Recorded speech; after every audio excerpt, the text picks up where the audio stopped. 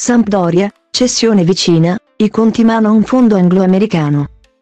E all'improvviso si riaccende la speranza, un fondo anglo-americano, con pregresse esperienze nel settore dello sport. Avrebbe avuto accesso alla famosa data room dei conti della Sampdoria, nell'ipotesi questa è la speranza dei tifosi blu cerchiati di poter arrivare a chiudere eventualmente l'operazione in tempo utile per poter poi sfruttare la finestra invernale del calciomercato. Ieri il CDA della Sampdoria, il presidente Lanna ed i consiglieri Bosco, Panconi e Romei. Tutti in sella dal 27 dicembre scorso, si è riunito a Milano presso Banca Lazzar con il trust e Vaidela i responsabili della medesima banca d'affari per un aggiornamento sulla situazione del processo di vendita del club. Da mesi la Samp, costretta a rispettare rigidi parametri economici nelle sue operazioni di mercato e di cassa degli ultimi mesi e alla ricerca di un compratore. Sinora, però, nessuno ha soddisfatto i criteri del truste.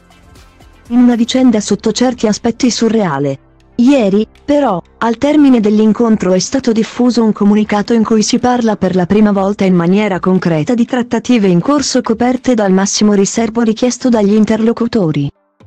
Un passo avanti ritenuto quanto mai significativo, perché sulla carta se le operazioni procedessero in modo spedito e la trattativa non dovesse conoscere ostacoli si potrebbe arrivare a una fumata bianca in tempo utile per avere risorse finanziarie fresche da utilizzare quando ripartirà il mercato. La situazione della squadra di Stankovic è molto critica, 6 punti raccolti in 15 partite. Ma restano 23 gare da giocare e tutto è ancora possibile. Il club ha provato, l'estate scorsa, a trovare un compromesso fra la necessità di rinforzare la squadra, quella di fare cassa e, allo stesso tempo, alleggerendo il monte ingaggi, con tutti i rischi del caso. E la situazione di classifica lo sta dimostrando, ora, in vista di gennaio, il rischio è quello di trovare ulteriori risorse economiche rinunciando ad almeno due a tre pedine importanti. Oppure tentare un mercato a costo zero, concessioni in grado di bilanciare gli eventuali innesti.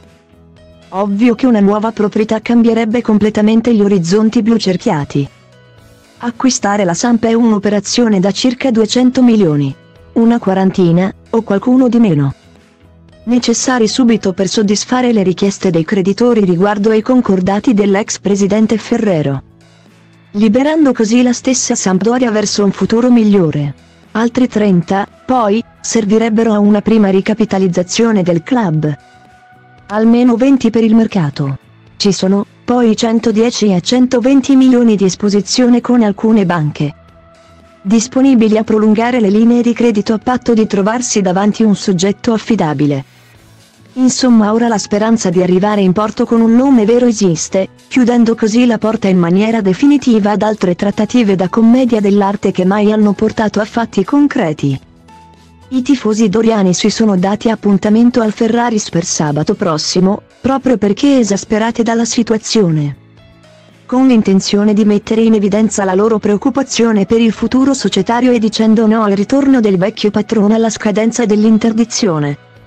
Ma, ieri, lo stesso CDA ha deliberato di convocare l'assemblea degli azionisti per il prossimo 14 dicembre. Una data non casuale, legata anche alla scadenza per gli adempimenti fiscali del giorno 16. In caso di mancata proroga, richiesta da molti club, la Samp si troverebbe a dover versare circa 31 milioni di IRPEF. Una cifra che non è a disposizione nelle casse del club, e che dunque potrebbe richiedere un intervento esterno per il quale andrebbe informato e consultato l'azionista di riferimento, cioè la famiglia Ferrero, per reperire le risorse necessarie. Ma è solo un'ipotesi. La Samp, ora, aspetta notizie. Forse per il cambio di proprietà e l'inizio di una nuova era si tratta davvero di una questione di settimane.